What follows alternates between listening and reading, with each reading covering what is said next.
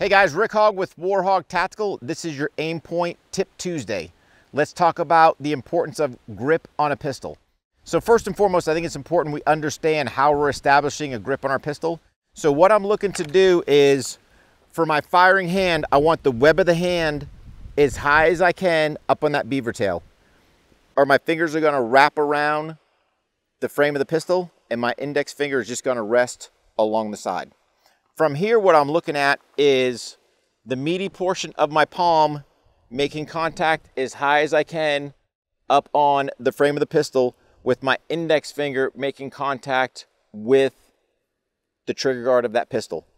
To me, I put a little bit of pressure here on the frame of the pistol just because I'm running my Aimpoint Acro on there. And you notice my firing thumb is off a little bit to the side because if I lay it flat down, I run the potential of possibly putting it on that slide release and that slide will never catch back on that last round. The other part to look at, if you notice my hands, I'm clamshelled back here. I don't have a gap to have this pistol flip more. This hand is in a position where it's locked in firmly. So I'm in essence forming a grip with this pistol. And you'll notice, at least with my support hand, I'll slightly cant that wrist forward to help me lock that pistol in. As far as when it comes to pressure, on your pistol, I want to grip more with obviously my support hand than I do my firing hand.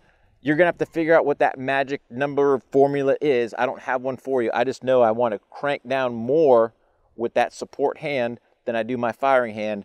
That way, my trigger finger can move independently when I'm sitting there trying to manipulate my firearm.